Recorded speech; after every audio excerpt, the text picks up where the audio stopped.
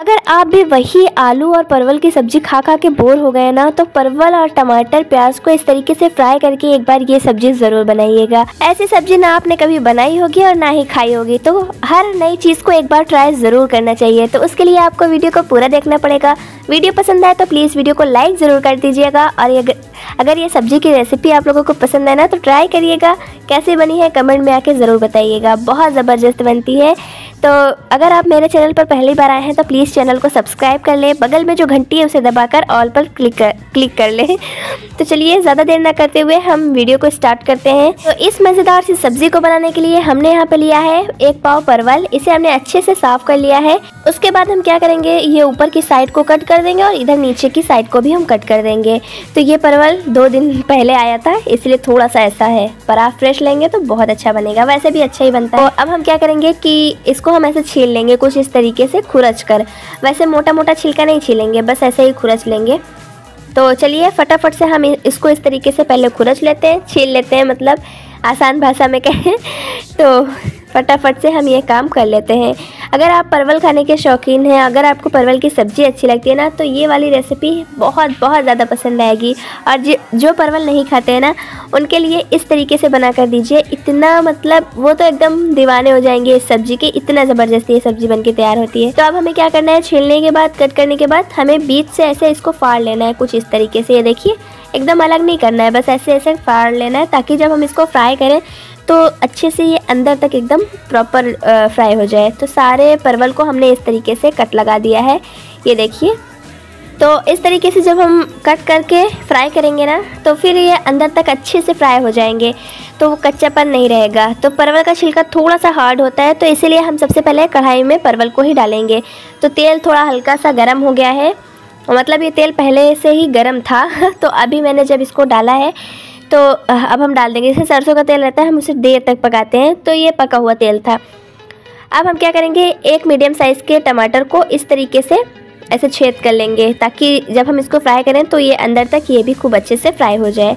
हम डाल देंगे इसको भी तेल में। तो परवल अच्छे से फ्राई हो रहा है। हमने टमाटर को भी डाल दिया है। एक मीडियम साइज़ की प्याज को भी हम छील कर उसी तरीके से छेद करके हम इसको भी डाल देंगे। अगर आपको आलू डालना है तो फिर आप क्या करिएगा कि आलू को भी छील कर यहाँ पे आप डाल दीजिएगा ताकि सारी चीज़ें जो है वो अच्छे से फ्राई हो जाए। तो आप एक बार इस मेथड से ज़रूर बनाइएगा आप सबको बहुत ज़्यादा पसंद आएगा। तो बस हाई फ्लेम पर हम कुछ देर तक इसको फ्राई करेंगे। मतलब दो से तीन मिनट के लिए हाई फ्लेम पर इसको फ्राई करेंगे। उसके बाद आँच को हम कर देंगे एकदम मीडियम मीडियम आँच पर हम फ्राई कर लेंगे। जब तक ऐसा थोड़ा सा ऐसा गोल्डन कलर नहीं आ जाता परवल के ऊपर, और टमाटर का छिलका जो है वो सिकुड़ नहीं जाता, तब तक हम इसको फ्राई कर लेंगे। तो ये अच्छे से फ्राई हो गया है। तेल को ऐसे साइड में करते हुए हम इसको निकाल लेंगे, और प्याज टमाटर को लास्ट में निकालेंगे, क्योंकि हमने इसको लास्ट में ही डाला था। तो ये भी बहुत अच्छे से सॉफ्ट हो गए हैं। ये, इसका जो टेस्ट आता है ना, बहुत ही अच्छा आता है अगर आप इस तरीके से बनाएँगे। तो चलिए मसाला बना लेते हैं। तो यहाँ पे मैंने लिया है दो से तीन चम्मच दही। तो दही जो हम लेंगे वो खट्टी नहीं होनी चाहिए। उसमें डालेंगे आधी छोटी चम्मच हल्दी पाउडर, आधी छोटी चम्मच लाल मिर्च पाउडर, आधी छोटी चम्मच डाल देंगे धनिया पाउडर, आधी छोटी चम्मच ही गर्म मसाला पाउडर। थोड़ा सा पानी डालेंगे क्योंकि दही जो है वो एकदम गाढ़ी थी। अच्छे से मसाले को मिक्स कर लेंगे। तो ये टेस्टी और मज़ेदार सा जो है स्पाइसेस हमारे, मसाले हमारे तैयार तैयार हो गए। तो अब हम क्या करेंगे, इसको साइड में रख देंगे। इधर जो है प्याज और टमाटर अच्छे से सॉफ्ट हो चुके हैं। सॉफ्ट बोल रही हूँ, ठंडे हो चुके हैं। तो ठंडा होने के बाद हम इसको क्या करेंगे, कट कर लेंगे मोटे मोटे टुकड़ों में। ज़्यादा बड़ा छोटा छोटा नहीं करेंगे, बस ऐसा कर लेंगे क्योंकि हमें इसे ग्राइंड करना है। तो छिलका भी इसका सॉफ्ट हो गया है, आसानी से ये निकल जाता है। तो इसको भी हम हटा देते हैं और इसको हम छोटे छोटे टुकड़ों में कर कर थोड़ा सा बिल्कुल पानी डालकर हम ग्राइंड कर लेंगे एकदम स्मूथली इससे क्या होगा, जो हमारी ग्रेवी बनेगी, वो बहुत ही ज़्यादा लाजवाब बनेगी।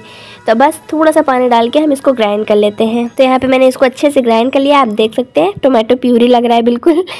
तो चलिए, इसका यूज़ हम बाद में करेंगे। तो कढ़ाई में तेल जो था, उसको हमने कम कर दिया है। यहाँ पे मैंने लिया है आधी छोटी चम्मच मेथी दाना। उसी में थोड़ा सा जो है दालचीनी का टुकड़ा था, उसको भी डाल दिया है। आधी छोटी चम्मच ज़ीरा डाल देंगे। उसके बाद एक टीस्पून डालेंगे लहसुन अदरक का पेस्ट।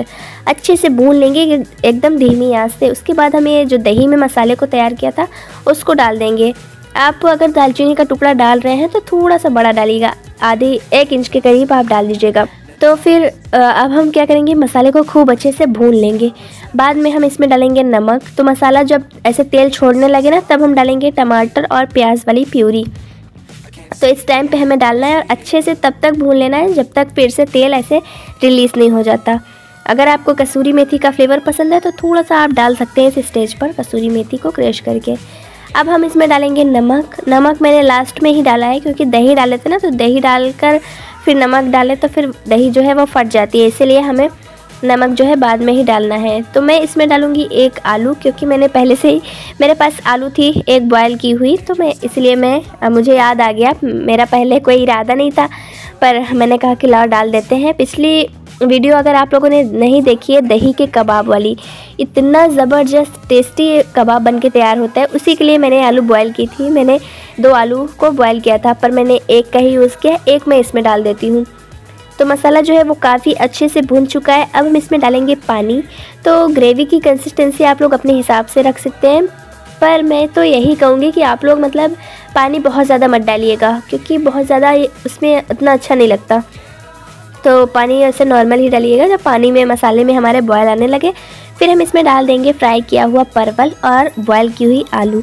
आप चाहे तो आलू को फ्राई करके भी डाल सकते हैं, अगर मुझे पहले याद होता कि मेरे पास बॉयल की हुई आलू रखी है तो फिर मैं पहले ही इसको डाल देती मतलब जब हम परवल को और टमाटर, प्याज को फ्राई कर रहे थे, तभी हम डाल देते तो चलिए, इसको डाल देंगे। कोई ज़रूरी नहीं है, मैं इतना ज़रूर कहूँगी कि कोई ज़रूरी नहीं है। पर अगर आपके पास है और डालना चाहते हैं तो डाल सकते हैं। अच्छे से धीमी आँच से तीन से चार मिनट के लिए हम इसको पका लेंगे। उसके बाद जो ये सब्ज़ी तैयार होगी ना, बहुत बहुत ज़्यादा टेस्टी ये बन के तैयार होगी। और परवल अगर आपको लग रहा है कि ये सॉफ्ट नहीं है तो बिल्कुल सॉफ्ट है। आपको डरने की कोई ज़रूरत नहीं है, क्योंकि हमने इसे डीप फ्राई किया है।